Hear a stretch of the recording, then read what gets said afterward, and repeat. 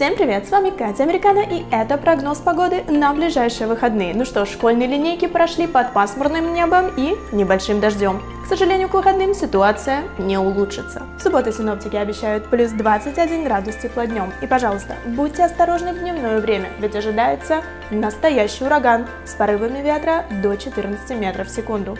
Ну а ночью стоит приодеться, ведь на градуснике плюс 16 градусов тепла. В воскресенье весь день нас с вами ожидают осадки и по-прежнему промозглая погода.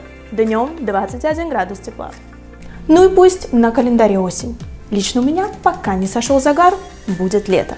Увидимся!